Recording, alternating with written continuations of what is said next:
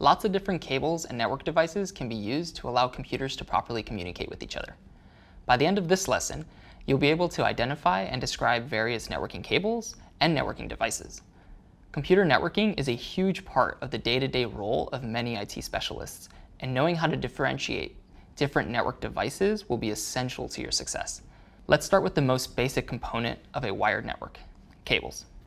Cables are what connect different devices to each other, allowing data to be transmitted over them. Most network cables used today can be split into two categories, copper and fiber. Copper cables are the most common form of networking cable. They're made up of multiple pairs of copper wires inside plastic insulator. You may already know that computers communicate in binary, which people represent with ones and zeros. The sending device communicates binary data across these copper wires by changing the voltage between two ranges. The system at the receiving end is able to interpret these voltage changes as binary ones and zeros, which can then be translated into different forms of data. The most common forms of copper twisted pair cables used in networking are Cat5, Cat5e, and Cat6 cables. These are all shorthand ways of saying Category 5 or Category 6 cables. These categories have different physical characteristics, like the number of twists in the pair of copper wires that result in different usable lengths and transfer rates. Cat5 is older and has been mostly replaced by Cat5e and Cat6 cables. From the outside, they all look about the same, and even internally, they're very similar to the naked eye. The important thing to know is that differences in how the twisted pairs are arranged inside these cables can drastically alter how quickly data can be sent across them and how resistant these signals are to outside interference. Cat5e cables have mostly replaced those older Cat5 cables because their internals reduce crosstalk. Crosstalk is when an electrical pulse on one wire is accidentally detected on another wire so the receiving end isn't able to understand the data, causing a network error.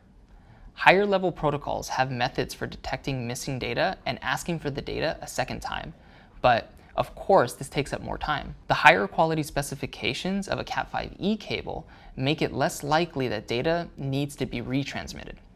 That means on average you can expect more data to be transferred in the same amount of time.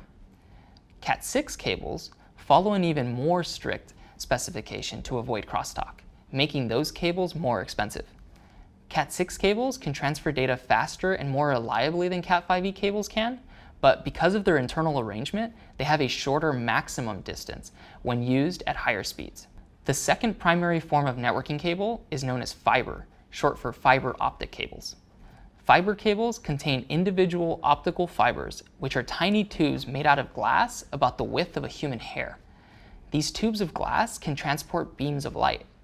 Unlike copper, which uses electrical voltages, fiber cables use pulses of light to represent the ones and zeros of the underlying data. Fiber is even sometimes used specifically in environments where there's a lot of electromagnetic interference from outside sources, because this can impact data being sent across copper wires. Fiber cables can generally transport data quicker than copper cables can, but they're much more expensive and fragile. Fiber can also transport data over much longer distances than copper can without suffering potential data loss. Now you know a lot more about the pros and cons of fiber cables, but keep in mind, you'll be way more likely to run into fiber cables in computer data centers than you would in an office or at home.